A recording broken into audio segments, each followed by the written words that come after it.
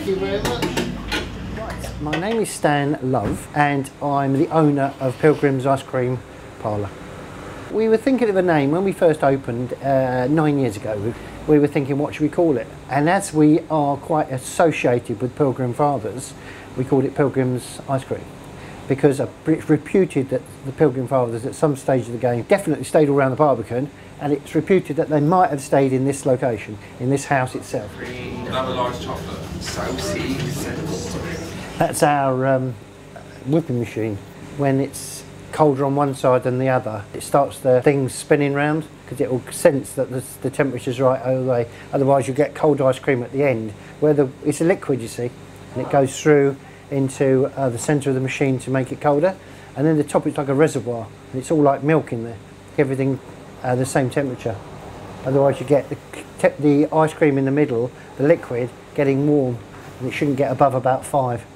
I had an ice cream parlour up on the Hoe seafront for a couple of years uh, and also I had um, a donut business and I run them in unison on the seafront and they're on a bid process where every three years the council asks you to rebid for the actual site and if you bid enough money you get them back again. And if you don't you don't. And um, I lost my donuts uh, business because I was outbid. And after that I had a year off because my wife and I decided to open a business together. And we had a year off to have a look around and see what we could find. And um, all of a sudden this shop popped up and I thought ah that would be good. It's a marvellous position.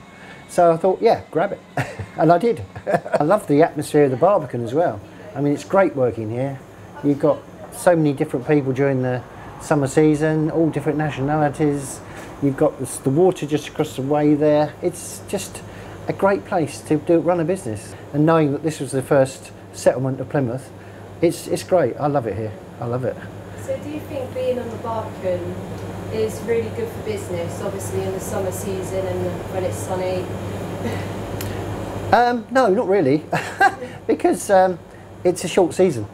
That's the problem. I mean, summer season's fine, but actually we don't we actually don't work the full year. We only work nine months because December, January, February on no-no months, there's nobody here. It's quiet, it's cold, and the trouble is you've still got to pay your rent, rates, and all your utility stuff, even though you're not here.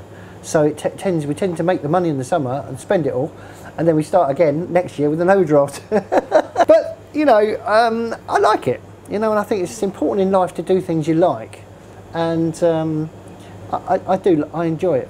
My father actually started a business selling jacket potatoes. And he approached Chessington Zoo, who asked him to come in and sell jacket potatoes. So he asked me to give him a hand sometimes to, to help because some days were very, very busy. So I took a day off from my driving and helped him. And he only had a little pitch and, and a little stand and an, a jacket potato oven, which he cooked them and put the fillings on. And then Ch Chessington Zoo decided to modernise and turn it into Chessington World of Adventures, putting all massive writing because they could see the writing on the wall that zoos um, were going out of fashion. People didn't really want to see animals in cages anymore. They wanted to see them in the open. So they decided, in their wisdom, to open it as a, a theme park come zoo. And they asked him to do his jacket potatoes from the building. And at that point, he said to me, look, I can't do this on my own. I said, okay, um, I'll come in with you, I'll, I'll leave my business and I'll come in, in in the jacket potato business. And that's how I started in catering. I didn't really know anything about it at all. That is caramel pecan crunch. All right, that's one. It's very nice. Would you like it in any particular colour? Uh, one of those?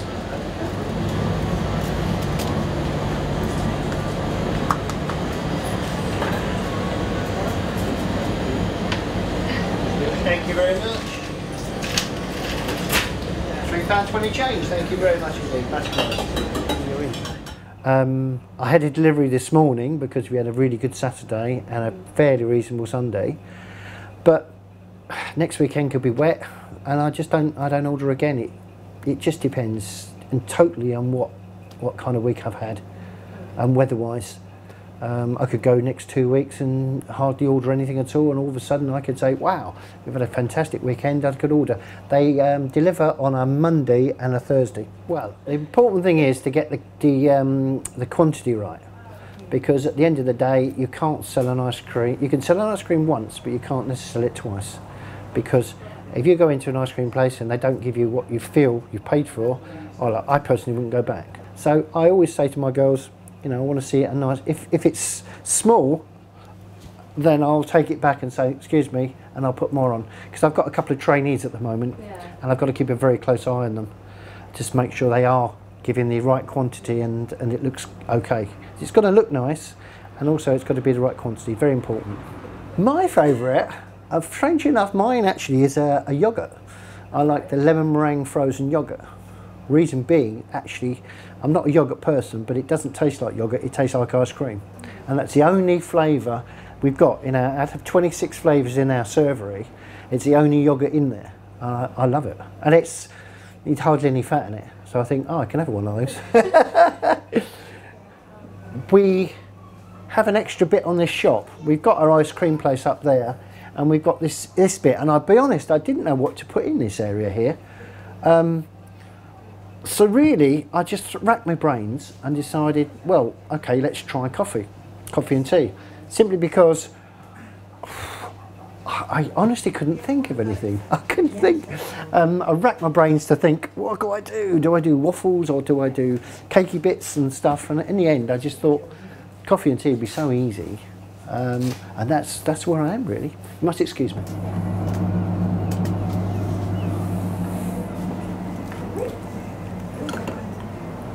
There you go, ladies.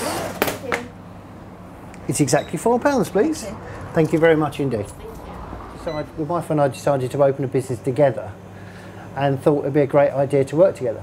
So we had a year off and we looked for a business anywhere in Devon really. We were quite flexible and we found a fish and chip shop in North Devon and we said, wow, this is great.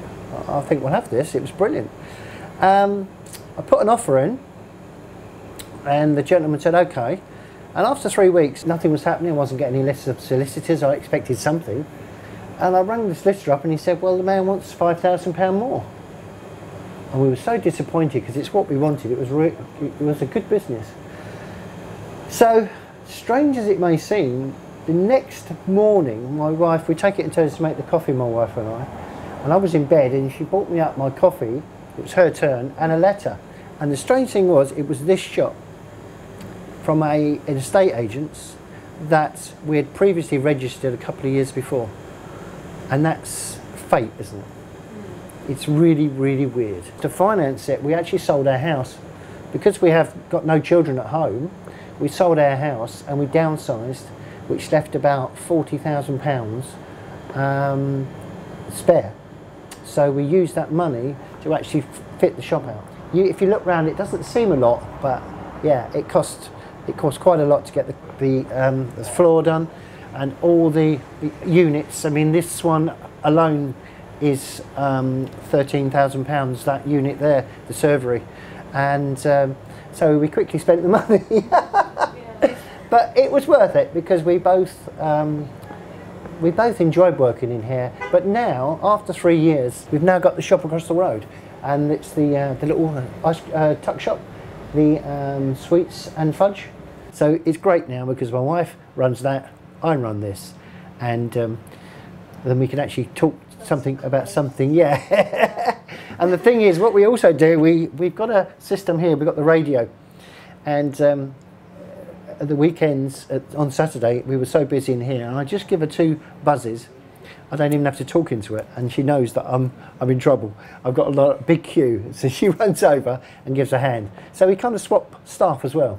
So we make sure the staff in here know exactly how that works, so we can send people over there. She gets sometimes gets um, hordes of French school children, about forty or fifty, and they all bundle in, and she's like ringing on here right mad, help, help. so it's very good. It's very it's a good system. It works very well having the shops very close.